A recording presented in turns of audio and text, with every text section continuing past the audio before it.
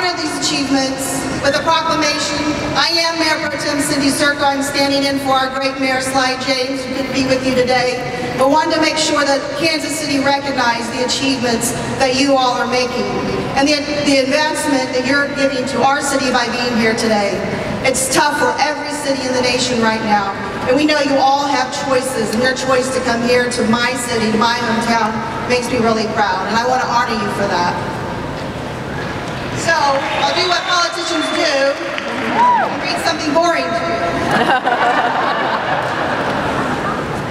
Says, whereas ViSalus recognizes Kansas City, Missouri as a top-tier national and regional event hub, holding numerous regional and national trainings since 2007, with the recent regional training breaking previous ViSalus records with over 2,200 in attendance.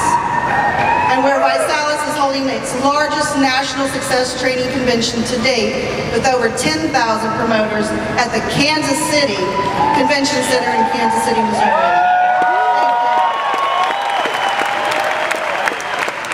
Kansas City, Missouri is the launch home of ViSalus BMW Club.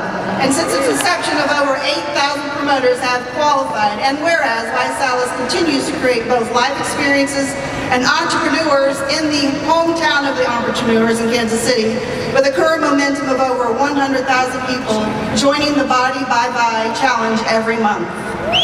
There's a couple more paragraphs that explains how great this company is, but I will go down to, now therefore, as I, Mayor of Kansas City Sylvester James, on behalf of the citizens of this great city and the City Council, do celebrate March 24, 2012 as ViSalus Day.